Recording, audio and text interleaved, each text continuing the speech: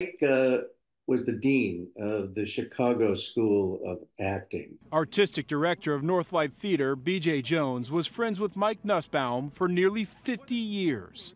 A native Chicagoan, Nussbaum was recognized by Actors Equity as the oldest professional actor in America. He was born and bred here, and his wife uh, was here, and, and his kids, uh, and that was vitally important to him. Mike was a committed family man as well as an artist.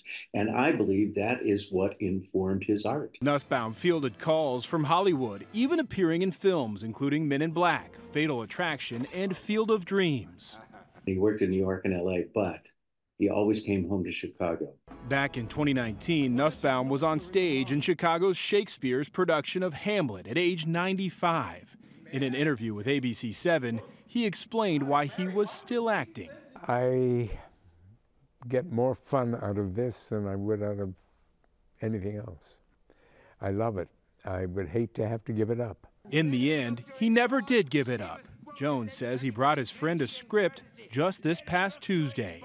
Jones says Nussbaum would show up to a first read with his part totally memorized, leaving younger counterparts in awe.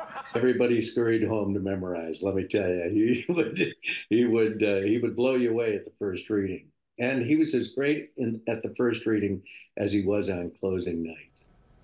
Yeah, what a thing to say. Jones told me his friend was an inspiration, a role model. He believes Mike Nussbaum's passion for his family and his art is what led to a long and happy life. And a fantastic career. No doubt, no doubt. Very inspirational and just great to hear about him. Yeah. Yep.